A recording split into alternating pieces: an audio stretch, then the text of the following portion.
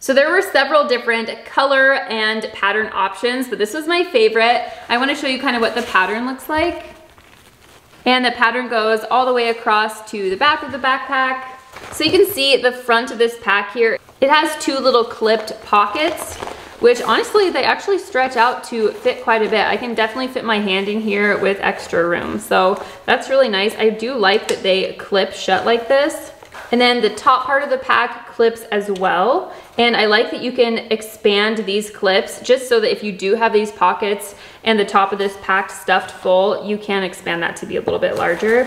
It does have a drawstring top right here. So when you do fill it with all our contents, you can pull this drawstring shut just like that, and then you can buckle this part over as well which that's especially gonna be handy if it's raining, for example, you can easily cover it up and make sure that it doesn't get wet.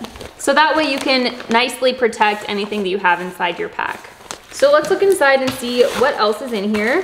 It does have a flat bottom on the bottom, which is really nice, is so that if you do have it full of content, it can just sit straight up on the countertop and it's not just gonna tip over as easily.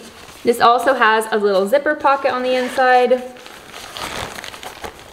and it goes pretty deep. It goes about five inches deep or six inches deep or so. So that's really nice as well.